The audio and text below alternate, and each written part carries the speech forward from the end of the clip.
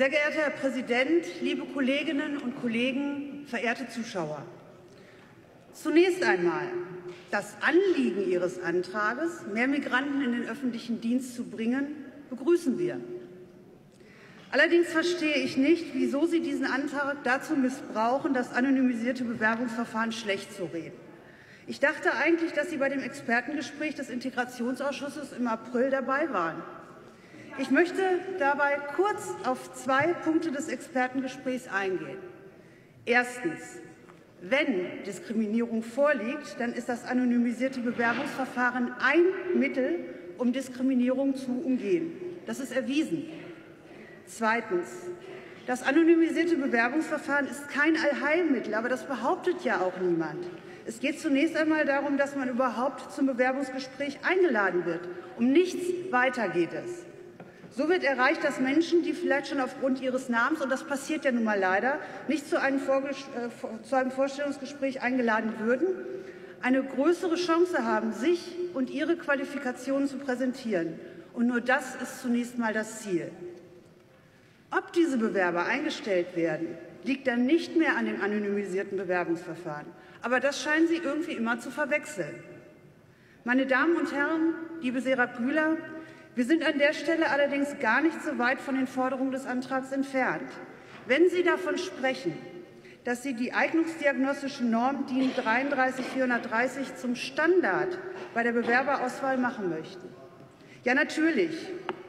Wenn jede Personalauswahl nach dieser Norm durchgeführt wäre, dann hätten wir äußerst treffsichere, faire, diskriminierungsfreie Entscheidungen. Aber da muss man auch mal die Kostenfrage stellen. Laut den Experten mache bei dem Kosten- und Zeitaufwand die Auswahl nach DIN 33430 nämlich wirtschaftlich nur dann Sinn, wenn viele gleichartige Stellen zur gleichen Zeit zu besetzen sind. In dem uns geschilderten Beispiel ging es um 180 Stellen des Bundeszentralamts für Steuern. Meiner Meinung nach ist das ein Spannungsfeld, über das man sprechen muss. Einerseits gilt es bei der Stellenbesetzung, finanzielle Grenzen einzuhalten. Andererseits muss die Landesregierung über diskriminierungsfreie Wege bei der Stellenbesetzung nachdenken. Ist ein ausufernder Kosten- und Zeitaufwand gegen Diskriminierung gerechtfertigt? Ist es im Rahmen der Willkommenskultur sogar erforderlich, diesen Aufwand zu betreiben?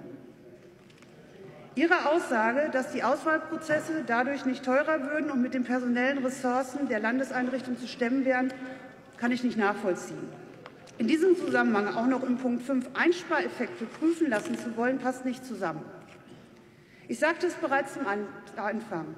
Das Anliegen des Antrags, die kulturelle Öffnung des öffentlichen Dienstes, begrüßen wir. Bei der Qualifizierung bezüglich eignungsdiagnostischer Entscheidungen aber auch in Fragen der interkulturellen Kompetenz und den Umgang mit kultureller Vielfalt muss noch eine Menge getan werden. Wir alle setzen uns doch hier für Integration ein. Und gerade die berufliche Integration muss noch stärker in den Fokus gerückt werden. Wir Piraten sprechen uns gegen jedwede Diskriminierung aus. Wir setzen, wir setzen uns grundsätzlich dafür ein, dass alle Menschen an der Gesellschaft teilhaben können. Dazu gehört für uns allerdings auch die Anwendung des anonymisierten Bewerbungsverfahrens. Vielen Dank. Vielen Dank, Frau Kollegin Brandt. Für die Landesregierung erteilt